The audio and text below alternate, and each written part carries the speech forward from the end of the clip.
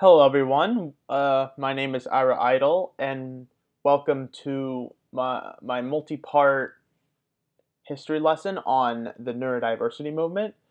So, be- before I want, um, before I really get into the meat of things and in, into the actual history, I'd like to go over some basic things first. So, first off, what is neurodiversity?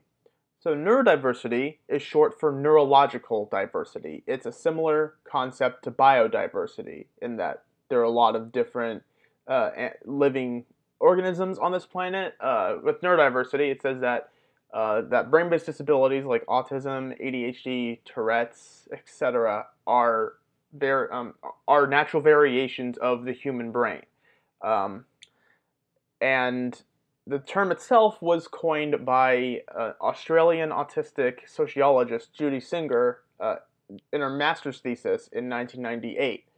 Uh, so her idea was that, um, so yeah, the, the her thought about these brain-based disabilities being a natural variation of the brain was um, was contrary to a lot of thoughts about those disabilities at the time. Um, she never in, exactly intended for it to become a social movement, though, but she did try. She did want to say that uh, that these disabilities were natural. So, what does neurodiversity include? Neurodiversity is an umbrella term, uh, so that it, it, includes any kind of di- uh, brain-based disability. So, autism, ADHD, Tourette's, dyslexia, mental illnesses, learning disabilities, intellectual disabilities, and, more. Uh, autism is usually the, the disability associated most commonly with neurodiversity. Um, and there are a lot of different reasons for that that we'll get into. But it does include any kind of brain wiring that is considered deviant from nor- the norm. So the term neurodivergent uh, was coined. Um, uh, it, it, refers to how to, to somebody's brain wiring being different from what is considered normal. So neurodiversity is the idea that there are a lot of different brain wirings out there that are natural variations of the human brain. Uh, neurodivergent refers to um, a specific person whose brain wiring is different from normal. The term itself was coined by, pictured here, uh, longtime autistic activist Kassiane Asasumasu. Uh, it's different from neurodiverse, and it was developed, uh, she coined it independently from uh, Judy Singer. Uh, I don't know if there was ever inter- an interaction between the two, or if, I believe uh, Kassiane first uh, started using the term neurodivergent um, online in the in 1999, which would be one year after Judy Singer's uh, thesis ab- about neurodiversity. I'm not I'm not sure if if if one was inspired by the other, but um, they are two different words that were coined by two different people. Now, neurodivergent is different from neurodiverse, which you hear a lot. Uh, neurodiverse refers to just a, a, any group of people in which there is a lot of variation in brain wiring. So, a group of all neurotypical people, all autistic people, all people with ADHD, those are not neurodiverse groups. Uh, neurodiverse would be if a group of six people had two neurotypical people, two autistic people, and two people with ADHD. That would be neurodiverse though honestly, I personally don't use the term neurodiverse very much. I I just um, I, I prefer the term neurodivergent, but I also uh, I also think um, it's better to you can even just say people with cognitive disabilities or brain-based disabilities. Uh, it, there's been a lot of debate about who counts as neurodivergent and who doesn't. Uh, so here's a Twitter thread from Kassiane from a few months ago where she talks about this. Um, and she talks about how there, oh, okay, how there are people who have gate kept um, who counts as neurodivergent and who doesn't. And she's basically saying here that that's not okay. Uh, there are people who have tried saying that complex post traumatic stress disorder doesn't count as neurodivergent when she points out how she coined the term neurodivergent because um, she um, she had multiple brain based disabilities. So she was, she's autistic and she also has CPTSD um, and she has epilepsy, among other things. Um, and there's also she points out how I don't see this very often, but neuroatypical is also used um, as a stand-in for neurodivergent, and when reading it out, it, it doesn't. There's very little difference because it's just one letter that can easily, uh, you can easily glance over. So, I I think it's it's best to say neurodivergent or people with brain-based disabilities um, rather than the other terms I've talked about. The neurodiversity movement is part of the disability rights movement, which includes all of these uh, sub movements. So, independent living, deaf movement, blind movement, disability justice, the self advocacy movement, the MAD movement, and of course, yeah, there's the neurodiversity movement all of these movements ha- have their own histories, their own leaders, influencers, etc. Uh, but at the same time, there is cross pollination between these movements. They're not all completely independent of one another, and they do often work in tandem with one another. So autism and neurodiversity. So autism has, like I alluded to earlier, autism has always been considered the centerpiece of the neurodiversity movement, and there are a few reasons for that. Uh, I, I think one of those reasons is because the person who coined the term neurodiversity was autistic. The person who coined the term neurodivergent was autistic.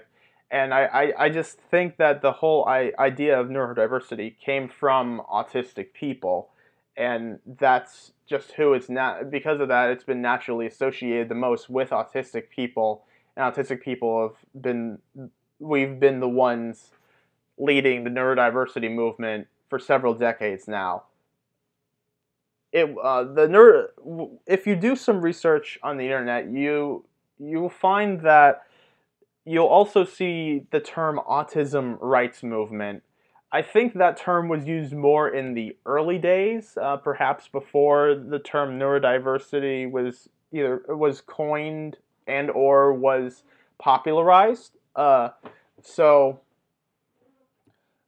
that was just kind of a temporary name it was given. It's it's something I very rarely see people call it nowadays. So it's best just to call it the neurodiversity movement. The infinity symbol is a symbol that, so its origins can be traced back to 2004 when the autistic led uh, website forum Aspies for Freedom uh, used it in their logo. It may have come before then, but at, that is the earliest instance of it that I can find. Uh, the so the rainbow infinity symbol I think came before the gold infinity symbol. Uh, the gold infinity symbol is for autism specifically, uh, because the color gold has often been associated with autism by autistic people because the chemical symbol for gold uh, is AU, which are, of course, the first two letters of autism. And uh, so the, the gold symbol is for autism specifically. So for, for nothing more, nothing less. The rainbow infinity symbol is for all neurodiversity, and it's still appropriate to use it if you're talking about autism specifically, since, of course, autism falls under the umbrella of neurodiversity.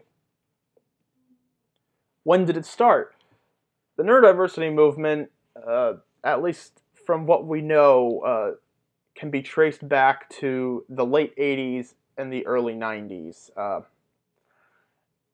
the, uh, so autistic people, so autism was had been a diagnosis for a while.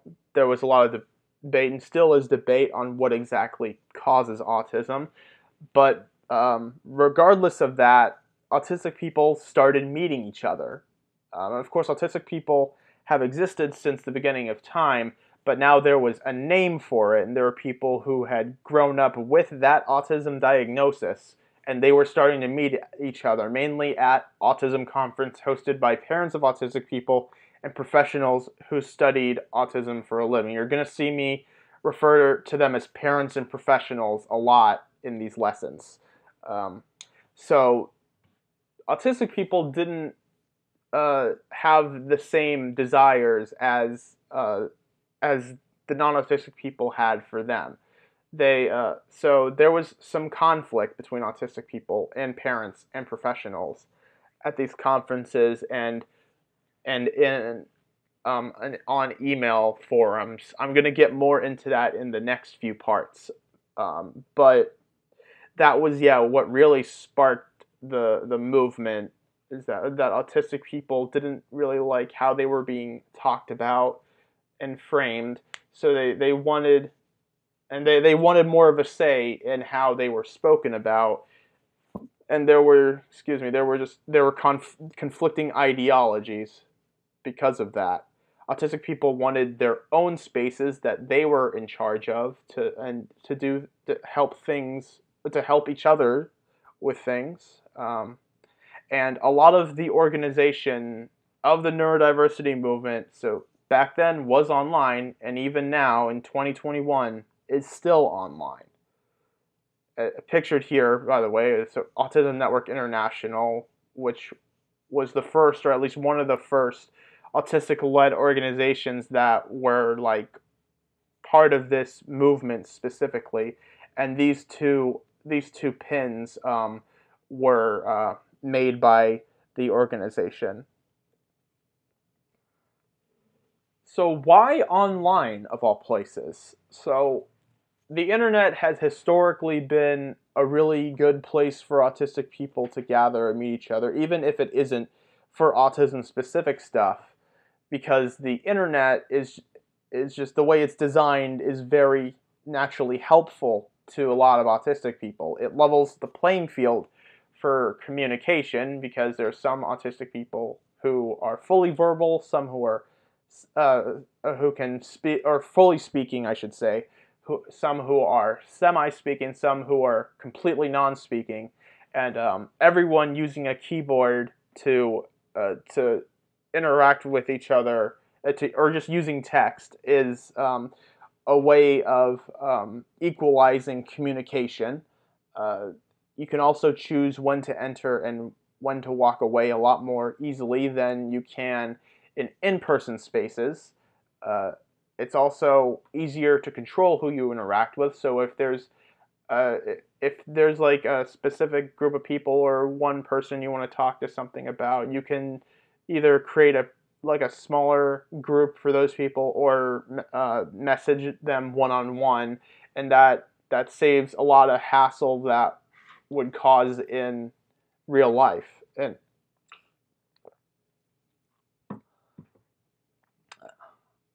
um, it it's also um, it's also it's easier to uh, to to really uh, curate who you spend your time with, who you interact with online than it is in person. It also allows for time to gather thoughts before communicating them, and that's really important. Now, of course, there are still people, uh, there are a lot of instances in which people will uh, will type, will send a message on the internet before they really think about the ramifications of it. In fact, the fact that it's behind a screen rather than face to face creates a completely different dynamic. However, it's still you can you can edit your thoughts in real time when typing a message out versus when you're talking uh, when, when you're talking to someone face to face with with your mouth. Who are the leaders? Pictured here is a painting of three prominent autistic advocates uh, from left to right. They're Morenike Giwa Onaiwu, Lydia X. Z. Brown, and E. Ashkenazy. I believe this paint. This was drawn by Finn Gardner. Uh, so the so there isn't like a single leader or lord or what have you of the neurodiversity movements. So in that sense, it is decentralized. However, there are plenty of people who uh, whose opinions and their their speeches and whatnot have been heavily influential on the movement um, that a lot of people look up to for different reasons. Uh, but there isn't there isn't like a single leader of the neurodiversity movement, as with any kind of social movement. Um, there's also you also somebody doesn't have to be considered a leader to be important. Uh, if no matter where you are, no matter how big or small your audience or your reach is, if you're if you take the message, the central the messages and ideas of the neurodiversity movement, and you're able to influence change, even just with one single person, that matters. It all counts. Many advocates have come and gone over the years. The neurodiversity movement is relatively new, only about 30 years, but there are a lot of people from the early days who are no either no longer advocating, they just decided they didn't want to do the advocacy anymore, or they uh, they um,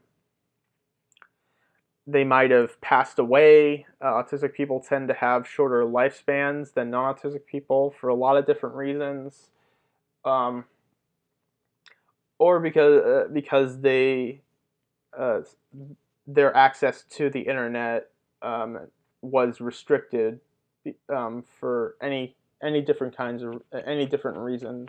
Um,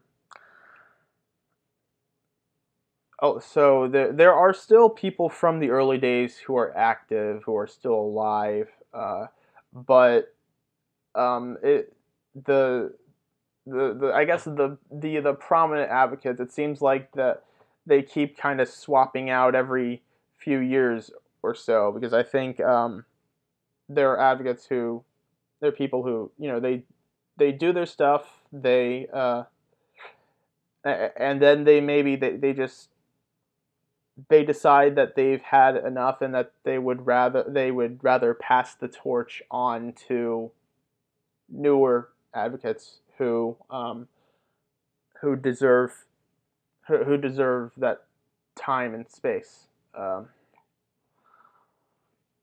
the main conflicts of the neurodiversity movement uh, include, um, but I guess aren't exactly limited to uh, who are the real experts on autism? Are they parents of autistic people? Are they professionals who study autism for a living? Excuse me. Or are they autistic people themselves? And of course, you can be autistic and a parent, an autistic person and a professional.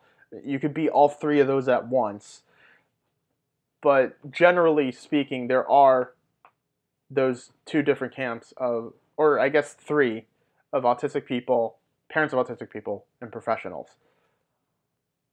What causes autism? As I talked about earlier, that's been the subject of a lot of debate. It was once thought, and there are people who still think this, that autism was caused by um, unaffectionate parenting, by refrigerator mothers uh, and it was it's also been thought that autism is caused by a leaky gut. Uh, and of course, most infamously, there's the belief that vaccines cause autism. All, all three of these have been disproven. Autism is present from birth, it is genetic, it is a wiring of the brain. Um, so, um, so that is how autistic people come to be. Now, how specifically uh, those genes come to be, I think, is still being talked about. Though there is definitely um, there the, the is definitely a very very thin thread to ne- to needle through. Um, yeah, to needle through. Uh, be, because of the discussion of well, if we find out what exactly causes autism, could that lead to eugenics? Could that lead to selective abortion? And I'm not going to get into that conversation right now, but that is, yeah, very much an important, uh, an important part of the autism discourse. What treatments are appropriate, if any? Uh, should autism is autism something that doesn't even need like um, any kind of treatment? Are there just co-occurring conditions that autistic people often have that you know those things should be addressed, but the autism itself should be left alone? And what kind of what specific practices are okay and which ones aren't? Who gets to call themselves autistic? So, for example, I'm what a lot of people would say would call high functioning, meaning that like, oh, I can speak, I can um, I can go to college and graduate, I I I can wash myself, um, I can dress myself, etc. So does that mean I'm really autistic? Like, um, because there are autistic people who can't do those things, and um, it's yeah, again, it's led to a lot of debate, and I I personally think it's not really uh, um, an important. I, I don't think it's productive for us to go back and forth between who's autistic and who's really autistic. There's also a lot of debate about is self-diagnosis okay, or or are you only autistic if you have a professional diagnosis? And I, I certainly have my opinions on that. I think self-diagnosis is perfectly valid for a lot of different reasons, but I yeah I think eh, if you're autistic, you're autistic. And of course, there's no one kind of autistic person, but I, I don't think like just because one autistic person is real is different from another autistic person doesn't mean like only one of them is really autistic, you know. And then, as I've talked about many times, and I'm going to talk about many times after this, autistic advocates versus non autistic parents and professionals who whose opinion counts more, I guess. So, uh, here are a few things, a few questions I want you got, want you to ask yourselves um, as we move forward with this. Was this movement inevitable? With autistic people meeting each other, what were they inevitably going to uh, start a movement for um, for better treatment and for um, to advocate for for people like them to live better lives, um, or was it just a chance happening? What parts of the world has the movement reached? Um, and what I mean by this really is like what parts of the world have had the most influence on the neurodiversity movement? Uh, uh, perhaps uh, and perhaps what parts of the world has it not reached and why? What is good about the neurodiversity movement and in what ways do you think it could improve from what you know? And depending on who you are watching this, you could you either might know a lot about the neurodiversity movement, including very intimate details. You could also be brand new to the neurodiversity movement, and that's okay. I'm still I would still be curious as to what um, your thoughts are on on these on all of these. So that's all for now. Um, the, this presentation, I took I took a lot of the structure of the presentation from uh, from a presentation the Autistic Self Advocacy Network gives to college students in their Autism Campus Inclusion program, which is also an well, it's it's called What is Disability, but a lot of it is an introduction, the the the 411 of the neurodiversity movement, or A411, I should say. And a lot of the graphics I I used um, were assembled on Canva, and um, I got them from the Elements section. There are of course like the pictures of and the ANI logo and those pins I found on Google Images. Um, and the the yeah the rainbow and golden infinity symbols I also found Um, I actually I think I found those in the elements section too. So all due credit goes to their original creators. So I'm Ira Eidle. Thank you for watching, and I will be back with more neurodiversity history.